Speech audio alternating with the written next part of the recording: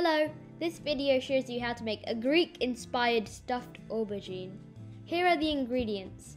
Aubergine, couscous, red pepper and yellow pepper, onions, courgette, chicken stock, yogurt, cucumber and some lemon juice. Now let's start. Dice all the vegetables except the aubergine.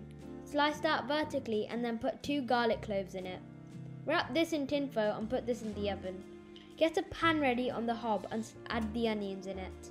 Put paprika and mix thoroughly until the onions start sweating. Add in your courgettes, yellow and red peppers into the party till they are all nicely incorporated and let that steam with the lid on. Now back at the table, mix a few herbs with some boiling water and chicken stock and add that to some couscous. Leave that to rest while making our yogurt relish. Combine some of the cucumbers with some yogurt and add a splash of lemon juice. Now let's take the aubergines out of the oven and scoop out the meat inside of them.